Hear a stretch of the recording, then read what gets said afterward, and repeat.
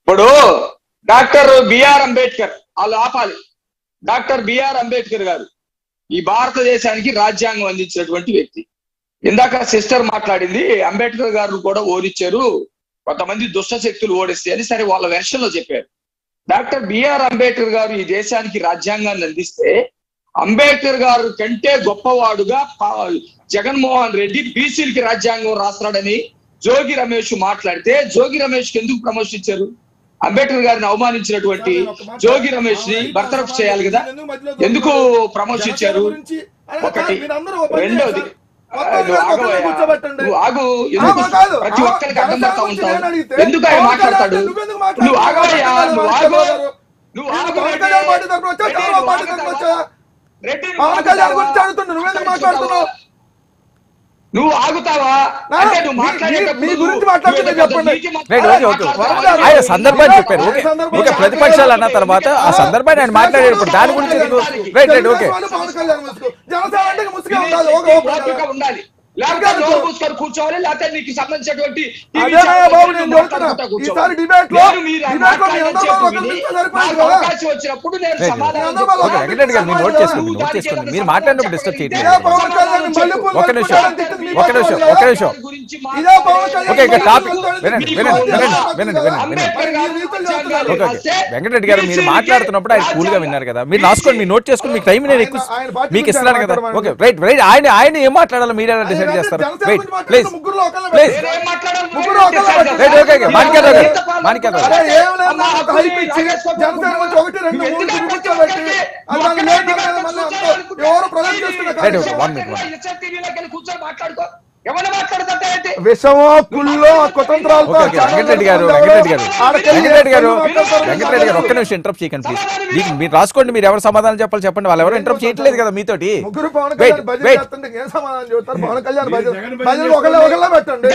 తెలుగుదేశం పవన్ భజన పవన్ ఒక. నియంత పరిపాలన చేసేవాళ్ళు okay please Venkatareddy garu Venkatareddy garu Venkatareddy garu time time ఎందుకు టైం తక్కువ? టైం తక్కువ. ఎవరు భజన? ఎవరు భజన? ఎవరు భజన? భజన? ఎవరికి? ఇప్పుడు పవన్ కళ్యాణ్ భజన చేస్తున్నారు కదా? తెలుగుదేశం అధికార ప్రతినిధిగా వచ్చి. పవన్ కళ్యాణ్ నుంచి నేను ఆమెను అడిగితే నీకు నొప్పి నాకు అర్థం కాల. నువ్వు అధికారం ప్రతినిధిగా తెలుగుదేశం నుంచి వచ్చావా? జనసేన నుంచి వచ్చావా? జనసేన. తెలుగుదేశం ఆయన. నువ్వు wait wait wait wait Venkatareddy garu Venkatareddy garu Venkatareddy గారు నేను చెప్తాను మీరు మాట్లా మీరు మాట్లాడినప్పుడు వాళ్ళు ఎవరు ఇంటరప్ట్ చేయలేదు. మీరు చెప్పిందంతా విన్నారు. మీరు ఇంటరప్ట్ చేసినప్పుడు నేను ఎందుకు మాణిక్యాలరావు గారు ఏవి మాట్లాడలేదు మీరు మాట్లాడుతూ ప్లీజ్ ఆయన మాట్లాడినప్పుడు మీరు నోట్ చేసుకోండి. మీరు సమాధానం చెప్తారు వినాలి. మాణిక్యాలరావు గారు. ఒక్క నిమిషం అండి, and పవన్ wait. కళ్యాణ్ అరే ఈ సల్ల? సినిమాలో ఈ- రాజకీయాల్లో కూడా ముగ్గురు కూర్చోబెట్టి? మీరు చేస్తున్నారు భజన. ఒకరావు స్వామి నువ్వు అనుకుంటే అయితే స్వామి అని అసెంబ్లీలో భజన చేస్తారు. ఒకలావు డాక్టర్ బిఆర్ అంబేద్కర్ గారిని అవమానం చేస్తూ ఉంటారు. ఇంకొకలావు ఎవరికి ఎవరు పుట్టారని పిఎన్ఏ గురించి మాట్లాడతారు. మీ చేసిన అంబేద్కర్ గారిని అంబేద్కర్ గారిని మాట్లాడేటువంటి నైతిక హక్కు వైసీపీ పార్టీకి లేదు నెంబర్ వన్. ఎందుకంటే భారతదేశానికి రాజ్యాంగాన్ని అందించినటువంటి వ్యక్తి అంబేద్కర్ గారు. అంబేద్కర్ గారు రాజ్యాంగాన్ని అందిస్తే అంబేద్కర్ కంటే గొప్ప రాజ్యాంగాన్ని అందిస్తున్నాడు అని జోగి రమేష్ మాట్లాడేది. అలాంటి జోగి రమేష్ని ఎమ్మెల్యే నుంచి బర్తరఫ్ చేయాల్సినటువంటి వ్యక్తిని మంత్రి ఇచ్చినటువంటి వాళ్ళు వీళ్ళు. వీళ్ళు అంబేద్కర్ గురించి మాట్లాడతారా? ఈ రోజు అంబేద్కర్ గారు రిజర్వేషన్ కేటాయించి ఆ రిజర్వేషన్ అమలాయితం చేస్తా ఉంటే ఒక్క బీసీ ఎస్సీలకి సంబంధించినటువంటి సబ్కాను నిధులు మొత్తాన్ని కూడా ఎత్తేసినటువంటి వాళ్ళు వీళ్ళు. ఈ రోజు రిజర్వేషన్ కార్పొరేషన్ ఉంటే ఎస్సీ కార్పొరేషన్ ఎస్సీ. కార్పొరేషన్ని మూడు విభాగాలు చేసి కార్పొరేషన్లో నిధులు. లేకుండా చేసినటువంటి వాళ్ళు వీళ్ళు. వీళ్ళు చెప్తారు ప్రజలంతా బ్రహ్మరథం పడతా ఉన్నారట. ప్రజలు బ్రహ్మరథం పెడితే ఎమ్మెల్యేలు ఎందుకు పరిగెత్తుతున్నారు గ్రామాల్లో? సొల్లు ఉన్నారు? చెప్పమాకండి సార్ వచ్చి. ఉన్నారు? ఆ రెండు ఛానల్లో చూపించిన వీళ్ళు సొల్లు అవతానికి తెలుగుదేశం వాళ్ళు. ప్రజలు ప్రజలకి వీళ్ళు ఇచ్చేటువంటి హామీలు వేరు. మనందరికి తెలీదా? అమ్మఒడి ఎంతమంది పిల్లలు ఉంటే అంతమందికి ఇస్తామన్నారు ఎంతమందికి ఇచ్చారు?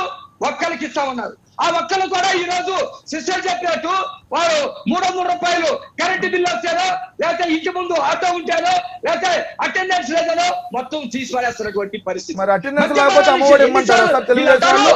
ఇందాకేం మాట్లాడుతున్నారు? అటెండెన్స్ లేకుండా అమ్మఒడి కార్యక్రమాన్ని ఇమ్మంటారా అంటే పిల్లలకు స్కూల్కి రాకపోయినా అటెండెన్స్ లేకపోయినా అమ్మఒడి మొదటి రోజు నుంచి ప్రశ్నించావు. మొదటి రోజు నుంచి ప్రశ్నిస్తావు ఎందుకు ప్రశ్నిస్తావు మొదటి? రోజే నువ్వు అంటే మొదటి రోజే?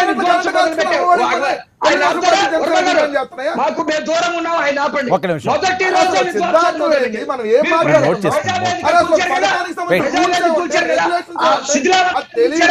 ప్రజావేదిక కూల్చారు. శిథిలాలను. తొలగించారా? ఆ శిథిలాలను అట్టాగే ఎందుకు పెట్టారు? అంటే మీది ఒక ఉన్మాదానందం కదా? ఉన్మాదానందం కదా? ఎవరు ఎవరు భాషలు ఎవరు లం డాషుల? భాషల నుంచి. మాట్లాడేది ఎవరు? సైకో వెంకటరెడ్డి గారు వెంకటరెడ్డి గారు వెయిట్. మర్చిపోయారా? అమ్మఒడి కార్యక్రమం అంట. డెబ్బై ఐదు పర్సెంట్ అటెండెన్స్ లేకపోయినా పాలన పిల్లలందరికీ ఇచ్చేయాలంట పిల్లలందరూ ఎగ్జామ్ రాసిన వాళ్ళందరూ పాస్ చేయాలంట. పరిపాలన మొదలు పెట్టావు మొదటి రోజే? ప్రజావేదికను కూల్చావు ఆ శిథిలాలు కూడా తొలగించలేదు తొలగించకుండా చంద్రబాబు నాయుడు గారు ఇంట్లో నుంచి బయటకు వస్తే ఆ శిథిలాలు చూసి ప్రభుత్వం ఆస్తి పది కోట్ల రూపాయల ఆస్తి నేల పాలైందని ఆయన బాధ పెడితే వీళ్ళు సంతోషపడి. ఉన్మాదాలు కూడా ఏం చేస్తారు? మొదటి రోజు ఉల్లంఘించి ఏం ముఖ్యమంత్రి? హోదాలో ఉండి? అట్లాంటి చోట ఇంకా ఉంటున్నాడు. ఆ అక్రమ కట్టడంలో అక్రమ కొంపలు ఇంకా మాట్లాడుతున్నారు అరే జనాలు ఓస్తారని కూడా లేదండి మీకు. నాకు అర్థం. నదీ. పరివాహ చట్టాలను ఉల్లంఘించి. నదీ పరివాహ చట్టాలను ఉల్లంఘించి ఇంకా కొంపలు తగలంటూ ఉంటే ఎవడన్నా. నోటీసులు. ఖాళీ చేస్తారు.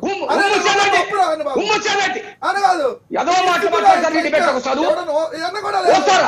మొక్కడే వస్తారు? తయారయ్యారు మీకు దమ్ముంటే ఇలా మీ మీ తయారయ్యారు. ముఖ్యమంత్రిని బజార్లో తిరగడం ఇలా తయారయ్యారంటే పోలీసులు పహారా లేకుండా అరే, పోలీసు పహారా అక్రమ లేకుండా కట్ట- అక్రమ తిరగమను. కోపంలో ఉంటాయి. బరిగెట్లు అక్రమ కట్టుకోకుండా కట్టడాలను నిర్మిస్తూ తిరగమను. మీరు మీద పరీక్ష రాసిన పాస్ చేయండి ఇంగ్లీష్ మీడియం వద్దు. రెడీగా డెబ్బై ఐదు. పర్సెంట్ అటెండెన్స్ లేకపోయినా నువ్వు అన్నా ఇచ్చేయండి ఇంట్లో ఉన్నా కూడా సిద్ధాంతాలు మీకు? మీ ముఖ్యమంత్రికి దమ్ముంటే మీ ముఖ్యమంత్రి జనాల్లోనే సార్ హైదరాబాద్లో ఉంటున్నా. మా ముఖ్యమంత్రి మన ముఖ్యమంత్రి జగన్మోహన్ రెడ్డి గారు ఆంధ్రప్రదేశ్ రాష్ట్రంలోనే పర్యటిస్తున్నారు. హైదరాబాద్. హైదరాబాద్ జూబిలీ సబ్జెక్ట్ పరంగా మాట్లాడు subject okay wait wait wait wait garu garu wait wait wait సౌజన్య గారు సౌజన్య గారు. సౌజన్య గారు. తెలియకుండా మాట్లాడతారు డిబేట్కి వచ్చి సౌజన్య గారు ప్లీజ్ వర్మ గారు. ఇప్పుడు ఎందుకు వెంకటరెడ్డి గారు బాగా wait, wait, వెంకటరెడ్డి గారు, please. బీపీ రైజ్ అయిపోతుంది పాపం ఆయనకి. ఆయన- చెక్క భజన వెళ్ళాక కామెడీ.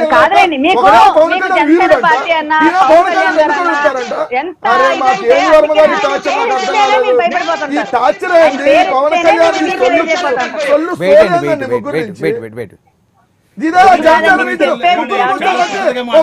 వెంకటరెడ్డి గారు. వెంకటరెడ్డి గారు వెంకటరెడ్డి గారు వెంకటరెడ్డి గారు వెంకటరెడ్డి గారు వెంకటరెడ్డి గారు వెంకటరెడ్డి గారు వెంకటరెడ్డి గారు వాళ్ళు ఒక్క నిమిషం వెంకటరెడ్డి గారు ఒక్క నిమిషం వెంకటరెడ్డి గారు వెంకటరెడ్డి గారు ఎక్కువ టైం మీ ఎక్కువ టైం మీరు సమాధానం చెప్పాలని మీకే ఇస్తున్నాను మీరు మళ్ళీ మధ్యలో ఇంటరప్ట్ చేస్తే that is not right right ఎవరు మాట్లాడినా మీరే వచ్చి మాట్లాడాల్సింటే ఇంకా మాకు మాట్లాడే అవకాశం అవుతా ఏంటి?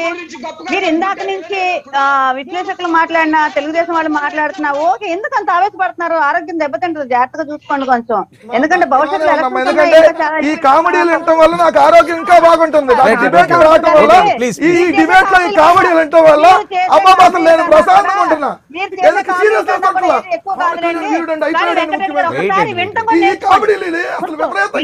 చంద్రబాబు నాయుడు పవన్ కళ్యాణ్ ఈ కామెడీలు నాకు ఆరోగ్యం చాలా బాగుంటుందమ్మా అంటున్నా కరోనా నేను కరోనా వచ్చి మా తమ్ముళ్ళు ఉంటాడు ఒక ఆయన. ఒక ఆయన అమ్మ నేను అయిపోయా. వెంకటరెడ్డి గారు వెంకటరెడ్డి గారు వెంకటరెడ్డి గారు ప్లీజ్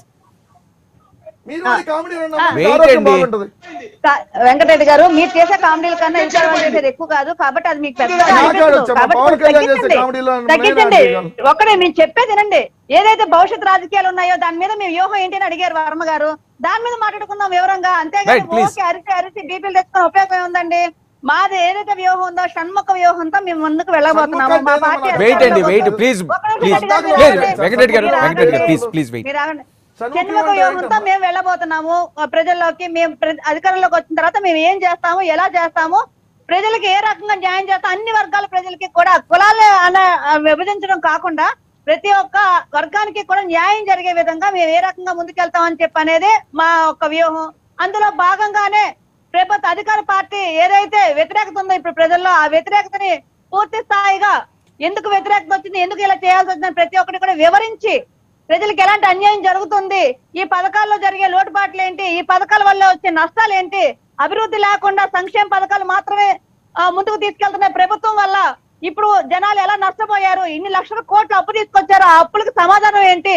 లక్ష అరవై వేల కోట్లు మేము పంచామంటున్నారు. ఇంకొక లక్ష కోట్లు పంచుతామని చెప్పి అంటున్నారు కానీ ఇక్కడ ఎనిమిది ఎనిమిది లక్షల కోట్లు అప్పు కనిపిస్తుంది ఈ బ్యాలెన్స్ అంతా ఎక్కడ తీసుకెళ్ళారు? ఎవరు ప్యాలెస్లోకి వెళ్ళి అన్నిటికీ కూడా సమానం చెప్పాలని అలాగే వాళ్ళ వాలంటీర్లు కూడా ఈ రోజు వాళ్ళనే ఎదిరించే పరిస్థితికి ఏ స్థాయికి వెళ్ళిపోయారు అనేది కూడా గమనించాలని చెప్పాను అది కూడా ప్రజలకు వివరించే విధంగా ఆ దసరా నుంచి పూర్తి స్థాయిగా మా మాకైతే ఏదైతే కమిటీలు ఉన్నాయో ఈ రోజు గ్రామ స్థాయి కమిటీలు కూడా వేసుకునే పరిస్థితి వచ్చాం. కాబట్టి ఈ కమిటీ అన్నిటితోనూ ఎంత బలంగా పనిచేస్తాం ఎంత బలంగా పనిచేసి రేపు ఇరవై మూడుకి ఎలక్షన్స్ అంటున్నారు కాబట్టి పూర్తి స్థాయిగా పూర్తి స్థాయిగా రెండు వేల పంతొమ్మిదో రేపు రెండు వేల పద్నాలుగులో మాట్లాడితే రెడ్డి గారు అది పోలుస్తారు? అది తీసేయండి పక్కకి.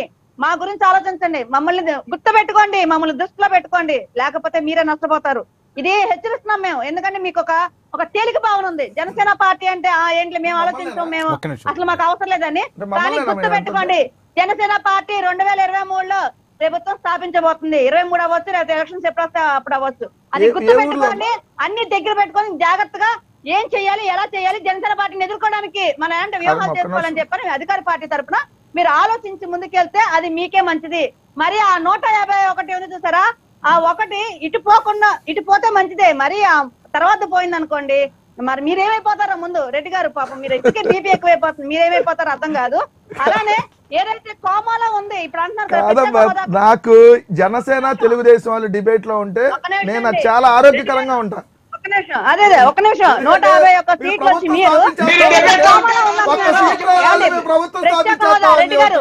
ప్రత్యేక హోదా మా వాళ్ళే మీరు- రెడ్డి గారు రెడ్డి గారు